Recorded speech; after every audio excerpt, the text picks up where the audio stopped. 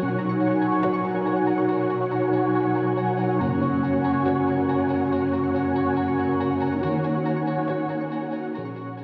I do see that the, the economies here are growing, businesses are growing, and connecting with different regions, different markets is important for them. Today, we're looking to ensure that they're aware of all the facilities that we have. They're aware that DMCC is not just a free zone uh, with some tax benefits. DMCC is a market of over 15,000 businesses as well. So it's very important that they understand that uh, there's a lot of pluses by being part of that community. I also would like to see the Spanish type of businesses and the Latin businesses be a part of our growth uh, by the year 2025, where we reach over 30,000 businesses.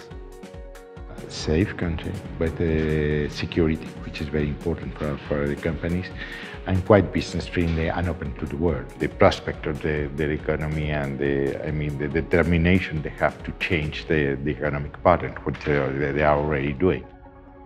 If we look at uh, what is built today in terms of infrastructure and policies and regulation, it's more toward building uh, a great uh, future for the next generation to come. And this help investors to really grow with us from a domestic player into a global player. Dubai is a place for people who like to dream big. And I think that it's a unique environment that's a magnet for uh, people who would like to come build something, make a big impact. And we see that even from a government level and the changes that are constantly happening in Dubai.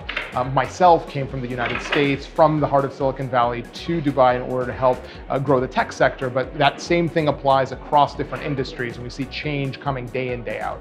So just take the leap, set up, and uh, see what opportunities might hold.